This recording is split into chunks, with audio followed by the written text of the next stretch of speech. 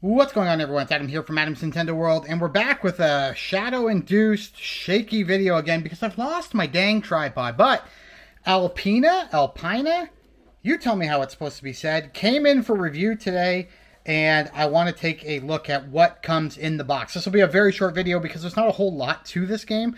When I saw it when I was offered it, I actually thought the box was going to be quite large, but it's like smaller than my hand. So I would consider this a small box game. In fact, we've done that little thing where you put your small box games into uh, camera boxes, and this might be a game that gets put into a camera box sized or camera uh, picture box thing to be travel that we can travel around with easily.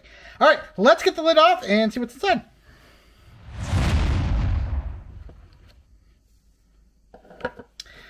All right, so inside you're actually going to get a ton of rule books, and it's not even a rule book as much it is as it is a rules pamphlet. And I have recycled all the rules pamphlets I don't need, uh, but there you go. And it is uh, about three fold out, so it's actually not that big. In total, that's what you're looking at. It has all the cards here, has how you end the game, how to play, all that good stuff.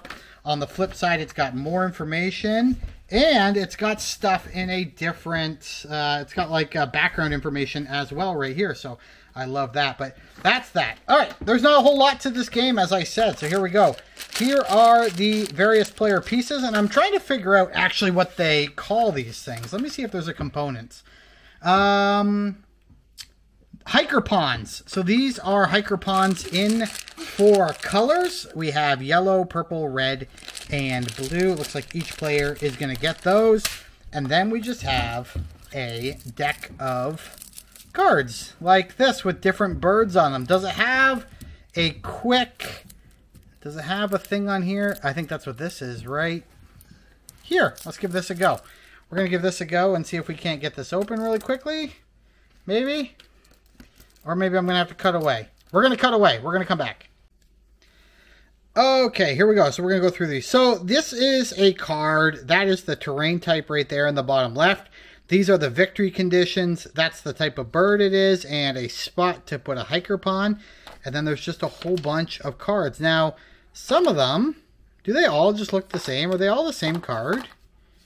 Oh, okay.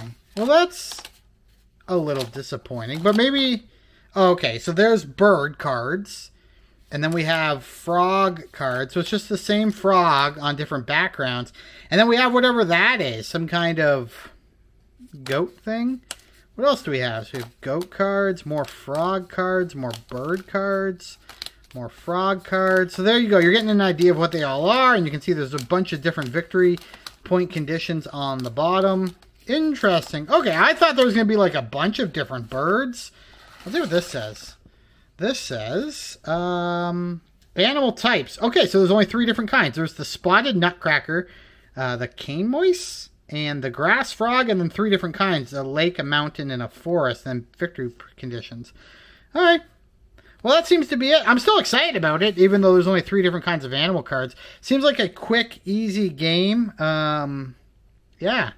It doesn't seem a lot to this game, but I'm really excited about it. I love this right down here that talks about the uh, the national park uh, in Switzerland. So I think that's really cool. It's got a lot of uh, information on how you score specific things. So here it says, you know, two victory points for each hiker pawn below this card in the same card column, regardless of color. That's kind of cool. Um, so it has all the details there, which I think is really great. There's a whole section on scoring, and yeah, I'm excited about this one. I made a bit of a mess, but still excited to play this one. Anyway, if you like this unboxing, please hit that like button and subscribe. We'll have more on this game in the near future. But until next time, folks, thanks for watching, and we'll chat again real soon. Goodbye.